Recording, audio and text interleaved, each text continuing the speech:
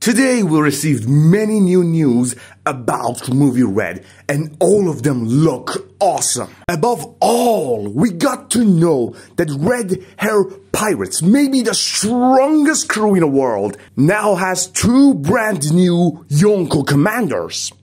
One of them is a tall, beastie looking guy, and another one is Rockstar, the very same man and Shanks sent to talk to Whitebeard. Yep, ever since the two years ago, Oda somehow made this legendary crew stronger, and we're gonna see them in movie Red. Honestly, two minutes of them is more than enough for me.